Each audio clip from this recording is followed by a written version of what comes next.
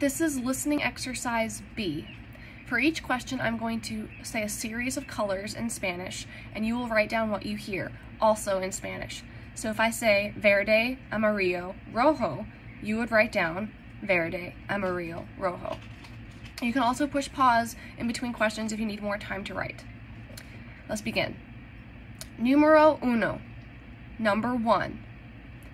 Azul, café, rosa. Again, azul, café, rosa. Número dos, number two. Verde, rojo, amarillo. Again, verde, rojo, amarillo. Número tres, number three. Gris, anaranjado, morado.